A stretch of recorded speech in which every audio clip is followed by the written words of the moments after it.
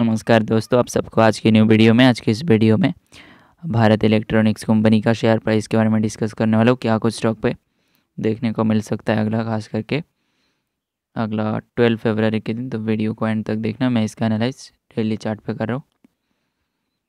सबसे पहला अगर स्ट्रॉन्ग सपोर्ट को देखें इसका, जो कि सबसे पहला one hundred seventy six point seventy five पे देखने को मिल रहा है।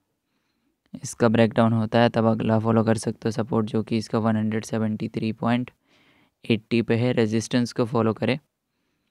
तो गई इसका जो काफ़ी स्ट्रॉन्ग अभी रेजिस्टेंस लेवल देखने को मिल रहा है, वो है one hundred eighty three point sixty five पे देखने को मिल रहा है, काफ़ी स्ट्रॉन्ग रेजिस्टेंस अब मैं इसको फिफ्टीन मिनट का चार्ट पे देखता हूँ।